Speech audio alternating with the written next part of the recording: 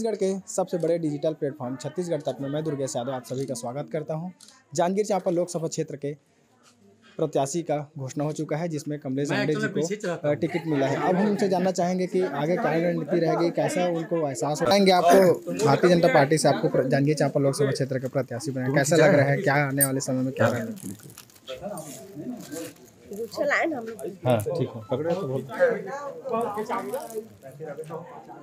सबसे पहले मैं अपने राष्ट्रीय नेतृत्व को बहुत बहुत धन्यवाद देती हूँ जो मुझे एक छोटे से कार्यकर्ता को विश्वास जताया है तो मैं उनके विश्वास में खरा उतरूँगी। देश के यशस्वी प्रधानमंत्री जी को मैं बहुत बहुत धन्यवाद देती हूँ अमित शाह जी को जे पी नड्डा जी को मेरे प्रदेश के नेतृत्व मुखिया हमारे विष्णु देसाई जी को अमित शाह विष्णु देसाई जी को किरण देव जी को पवन भाई साहब जी को और हमारे सभी वरिष्ठ जांजगीर के गौरी शंकर भैया जी को, हमारे क्लस्टर प्रभारी जी राजेश मुड़त जी हैं, नारायण चंदेल भैया जी हैं, सौरभ जी हैं, हमारे खिलावन भैया जी हैं और सहयोगिता जी हैं, और हमारे कृष्णकांत चंद्रा जी हैं, और हमारे आठों विधानसभा के ज्येष्ठ श्रेष्ठ कार्यकर्ता बंधु हैं, उन सभी को मैं बहुत बहुत धन्यवाद देती हूँ कि सबका साथ, सबका विकास हम लोग निश्चित ही मैं विश्वास दिलाती हूँ कि हम आठों के, ग्यारह के ग्यारह लोकसभा सीट को मोदी जी के झोली में डालेंगे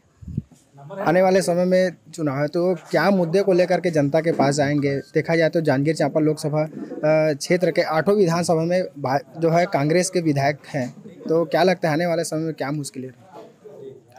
विकास के मुद्दे को लेके हम जाएँगे और हमारे देश के यशस्वी प्रधानमंत्री जी सबका साथ सबका विकास है उसको हम ज़मीनी स्तर से लेके जाएँगे। हरी हर वर्ग के लिए हमारे मोदी जी ने किया महिलाओं के लिए किसानों के लिए युवाओं के लिए सभी के लिए किए हैं तो उस विकास को हम लेके जाएँगे।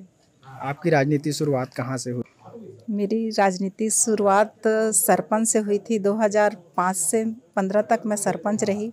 उसके बाद संगठन में मैं काम की बूथ में काम की बूथ अध्यक्ष भी रही, मंडल उपाध्यक्ष रही, मंडल में मंत्री रही, उसके बाद मैं प्रदेश कार्य समिति महिला मोर्चा में रही, अनुसूचित जाति मोर्चा में रही, सरगुजा जिला की प्रभारी भी रही, उसके बाद जांजगीर चांपा ज़िले एक में उपाध्यक्ष भी रही और नया जिला बना है तो मुझे महिला मोर्चा का ज़िले का ज़िम्मेदारी मिला है और अभी विस्तारक के रूप में मैं दूसरे विधानसभा में भी गई थी, वहाँ दस दिन मैं मोदी जी का जो बूथ का कार्यक्रम था उसमें भोपाल गई थी और विस्तारक के रूप में दूसरे विधानसभा में भी गई थी और वहाँ पे मैं बूथ से काम की थी। क्या लगता है आने वाले लोकसभा में मोदी मैजिक काम करेगा? बिल्कुल करेगा। मोदी मोज- मैजिक काम करेगा और हम आपको मैं विश्वास दिलाती हूँ कि 11 के 11 पिछले बार भी हमारे नहीं थे लेकिन नौ सांसद चुन के गए थे और इस बार हमारे तो 11 के 11 लोग सांसद चुन के जाएँगे।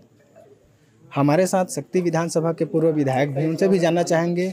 जी, विधायक जी बताएँगे, आपके सबसे करीबी माने जाते हैं। उनको टिकट मिला है। क्या लगता है आने वाले समय में कैसा होगा क्या आपके आपके? देखिए, सब कार्यकर्ताओं के सहयोग से हम इस लोकसभा को जीतेंगे। भले ही हमारे विधायक नहीं है, आठों विधानसभा में। पिछले बार भी जैसे कि यहाँ जो है, छत्तीसगढ़ में कांग्रेस की सरकार थी, लेकिन नौ एमपी हमारे जीत के गए थे। और इस बार भी हमारे जांजगीर लोकसभा से हमारे एमपी के रूप में चूँकि इस क्षेत्र को पहली बार अवसर मिला है और एक बहुत ही सभ्य सुशील महिला हैं गृहिणी महिला हैं और भारतीय जनता पार्टी के कर्मठ कार्यकर्ता हैं। एक सरपंच से लेकर, एक बूथ कमेटी से लेकर जिला स्तर तक के और प्रदेश में भी इन्होंने काम किया है। भारतीय जनता पार्टी में पार्टी ने अवसर दिया है। तो पूरे क्षेत्र के लोग जानते हैं, पूरे लोकसभा के लोग जानते हैं, ऐसा नहीं कि कोई एकदम से नए हैं, ऐसा भी नहीं है है ना? तो इनके कामकाज से और इनके व्यवहार से पूरे क्षेत्र की जनता खुश है। और इनके व्यवहार से और मोदी जी के जो विकास कार्य हैं, कि सबका साथ सबका विकास, ये जो हमारा मूल मंत्र है, और अभी तो पूरा देश भगवामय है, राममय है, और बहुत सारे काम मोदी जी ने किए हैं तो उन विकास के मुद्दों को लेकर हम जनता के बीच में जाएँगे और जहांगीर लोकसभा में कमल खिलाएँगे। जी, अभी हमने जो प्रत्याशी हैं कमलेश जांगड़े, उनसे जान, जाना। उन्होंने कहा है कि आने वाले समय में जो मोदी के नेतृत्व में जो विकास हुए हैं, उनको लेकर के वे जनता के पास जाएँगे। अब देखना ही होगा कि आने वाले समय में जनता किसे जिता करके लोकसभा में भेजती है। छत्तीसगढ़ तक के लिए दुर्गेश यादव, जांजगीर चांपा।